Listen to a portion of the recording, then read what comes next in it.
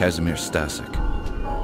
He's been a good source of info on a couple of minor cases I had here in the city. Hello, my friend. Ah, Mr. McPherson. And how are you this dark evening? I can't complain. And how's my favorite boy in blue? Besides my eye and this horrible murder, everything's fine. I imagine you don't have anything more to give me? This time I'm afraid I have nothing for you, my friend. Everyone is more or less at a loss. You don't mind if I ask you a couple of questions anyway? Of course not. How long has this been going on? It started about three weeks ago. You didn't hear about it until now? No, I wasn't in town. I just got back. I was working a case outside the city. Someone called me to see if I could come back and help. Ah, the very beautiful Miss Ida Skalikova, I presume? Good guess. She's worried for her friends. I told her I'd see what I could do. Can you tell me about your new boss? Inspector Yuri Skalnik. He was given the case and got temporarily assigned to this district. He has a good reputation, but he doesn't share much information with us. He keeps to himself a lot. What? He doesn't trust you? Honestly, I don't know. Maybe he thinks we're incompetent or something. Maybe. But he'd be stupid to think so. Why, thank you, my friend. Were all the victims' bodies dumped? Yeah, I believe so. But then again, I don't have much information, as I said earlier. Was there ever an eyewitness? Nope, never. That's what bothered me the most. How was the killer getting around the city without being seen? How'd you get the shiner? Shiner? Your black eye. How'd you get it? Oh, uh, I arrested a man last night, and for some reason my eye hit this man's very large fist. Did you get sucker punched? Well, a little. My partner didn't have time to warn me. Everything happened so fast. I was helping the woman, and I turned around to see if my partner was okay, and wham! Next thing I knew, I was flat-faced on the sidewalk. What did the man do to deserve your undivided attention? He was harassing a young woman. So I asked him to stop, and then things got out of hand. The police are trying to find this animal. We're a little nervous when a man harasses a young woman these days. That's understandable. Well, I should leave you to your work, and I have to see my client. Thanks for your input. You're welcome. Be careful. Will do.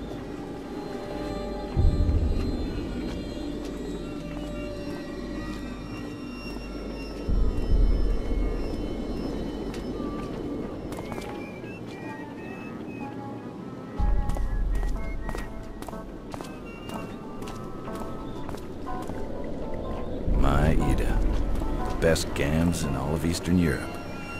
She's my angel and the love of my life. I met her on a small case I was working. She used to dance in the neighborhood cabaret. She was involved with the married man I was following. It was love at first sight. Hey, look at you all dolled up. Hi, sweetheart. I don't like it when you call me that. I didn't call you a doll. I said that you were... Never mind, I'm sorry. Good. Now have you talked to that useless inspector? Yes, I have. And I didn't get much from the meeting. Are you going to help us? Of course I will. Is there really any doubt? No, but you never know. When do you want to settle this, now or later? No, I don't want money, Ida.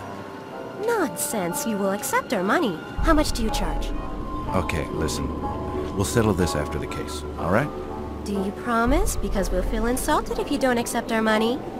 What was I supposed to do? Take money off these women? That's the last thing I wanted to do. Yes, I promise. I will charge you at the end of the case. Yeah, right. What was her name? Who? The victim's name? Oh, her name was Frantiska. Were you close to her? Not as much as Milena, but yes, I knew her. Did she ever talk about a regular client or someone special? Not that I know of. Do you think Milena can answer a few questions? I guess. Let me ask her. Milena? Yes? This is my friend, the one I told you about. He's here to help us catch the man responsible. Do you think he can ask you some questions about Frantiska? Okay. I'll wait for you up the stairs, okay? Okay, I'll see you in a bit.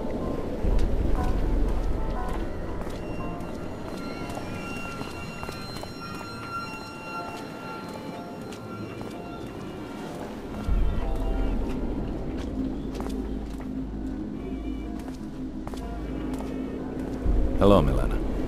My name's Gus McPherson. I'm here to help stop this from ever happening again. I thank you, sir. Not a lot of people would help women like us. Do you mind if I ask you a few questions about Frantiska? No, that's fine. How long have you known Frantiska? Well, I've known her for a long time. We met in the orphanage when we were just little girls. Her uh, parents had died in a terrible accident. We became very close. We both left the orphanage never to return. We never liked the sisters. Ever since we left, we tried to survive in the streets, even changing cities. But we kept coming back here. Did she ever talk about someone new or special? No. It was not her style. Frantiska would rarely take new clients. She had regulars and enough to allow her to survive. She would only take complete strangers if she absolutely needed to. Apollina is more like that. She always has a new rich client. Did she ever have a client that had been violent with her? No. She only had clients she trusted. How about you? Have you had any trouble with any of your clients? No, I'm like Frantiska. I have only regular clients. If I'm on the streets, it's because I'm keeping my friends company. Were you close to any of the other victims? Well, there is one that was a common friend to Frantiska and me. Her name was Anezka. No one's found her. She just disappeared one day. We honestly don't know what happened to her. I knew the others only on a professional level. Did Anezka ever complain about any clients before she disappeared? Or did she ever talk about leaving? Well, we all talk about leaving. Wants to live their life like this? But she never complained about anything. Anezka was like Apollina. She took on many clients. She left town a lot, but always came back with a broken heart. I hope she did find someone and left this place. Where can I find this Apollina?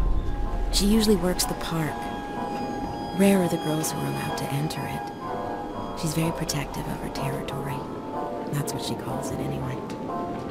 Frantiska and me were allowed in because Apollina knew we didn't take strangers and pretty much had our own regulars. Anezka was Apollina's good friend, so she was allowed too. So we all kept each other company in the park. Maybe Apollina knows where Anezka is.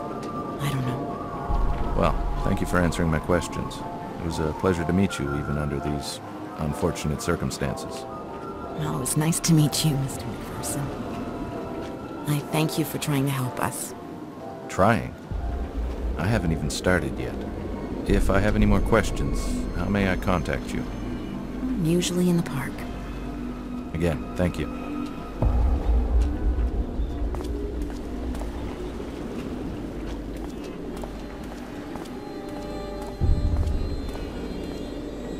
Ida's an angel on Earth. She's the sweetest person I've ever met. I truly believe she doesn't have an angry bone in her body, even with the difficult childhood she had. A stepfather who molested her on a regular basis. Ida is always positive, and she's always willing to help the people who surround her. That's why she hired me to try and help.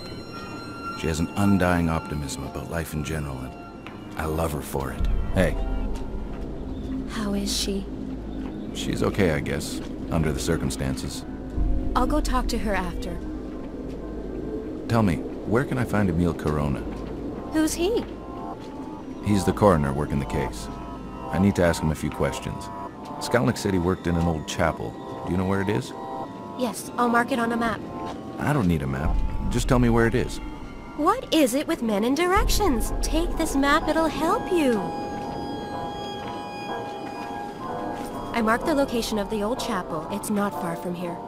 Okay. Thanks, sweetheart. How have you been? I mean, are you feeling better? Yes, a little. It's not as bad as when you left for your case. Did you go see the doctor? No. Ida, go see him. It might be serious. I'm no doctor, but throwing up every day is not normal. Go see him. Okay, okay, I'll go see him. I don't throw up every day, you know. You always exaggerate. Yes, okay. But go see him as soon as possible. Okay. I have to see this corona. I want you to stay off the streets as much as possible. Never walk around alone. Yes, I know you've told me a hundred times. I am careful. Okay, I'll ease up on you. You be careful. I will. Now go.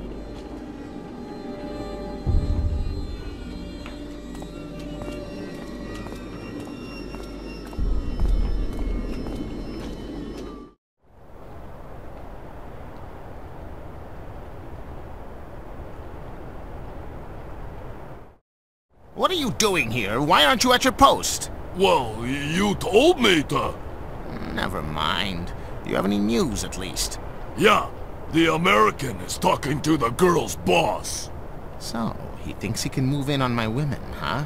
Well, my friend, if you ever see him, you may explain things to him. Uh, explain what?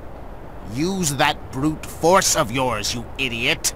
Aha, ha, ha, ha, okay, boss. I truly miss your brother. He was the smart one. Yeah, I miss him too. Why can't we get him out? Because I'd probably get arrested too, you moron! That's all Skalnik wants anyways. I have a feeling he will blame me for all these murders. Why am I telling you this? Go back to your post. You see the American, you can rough him up. Okay, boss. I better steer clear of the big guy. The scrawny-looking guy was probably Otakar Kubina. Who can forget that name? Anyways, he was the pimp of the neighborhood. He worked out of this little lingerie shop, which acted as a front, of course. He owned a couple of joints in the district, including the cabaret where Ida used to work. I think he never forgave me for stealing Ida from that dive.